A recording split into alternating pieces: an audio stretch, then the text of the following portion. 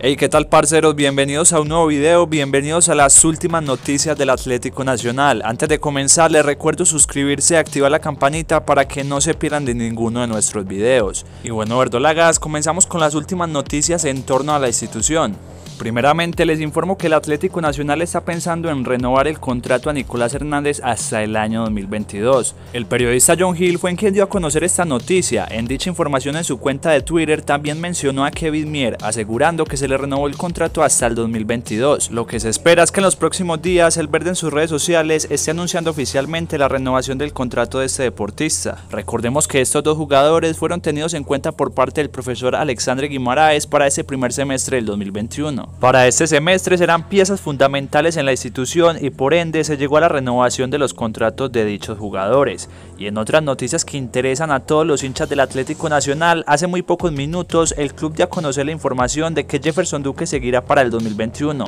El delantero que llegó a préstamo del Independiente Santa Fe termina su vinculación con el club cardenal ya que este no puede pagar los derechos del jugador. Ante esto, Duque terminó como jugador libre y el Atlético Nacional optó por renovarle. Después de esa confirmación, el periodista Juan David Londoño agregó que Alexandre Guimaraes está gratamente impresionado con el nivel del goleador del verde y avaló al 100% su continuidad para el próximo semestre. Para los que se preguntan si se traerá otro delantero, por el momento las directivas de la institución siguen trabajando en la conformación del plantel y esperan que llegue un delantero de talla internacional para que refuerce el equipo de Alexandre Guimaraes. También se sabe que Patricio Cucci posiblemente no continuaría en el Atlético Nacional y se espera que termine su vinculación con Independiente Santa Fe para definir su futuro, aunque es incierto, no se sabe si su continuidad está en el verde.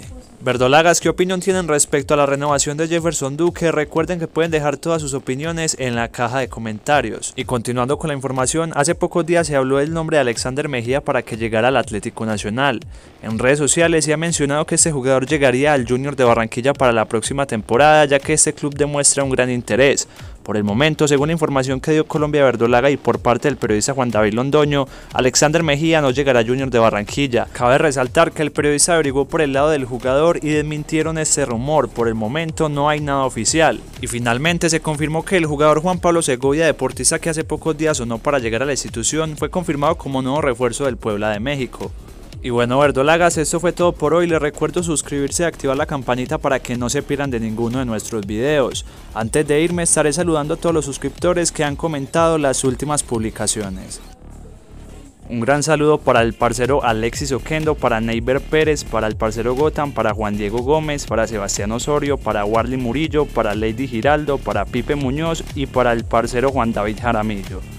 Y como mención especial, quisiera darle las gracias a los parceros LED Production, Santiago Ríos y Jonathan Andrés por convertirse en nuevos miembros del canal. Y sin nada más que decir, nos vemos en una próxima ocasión y todo bien, parceros.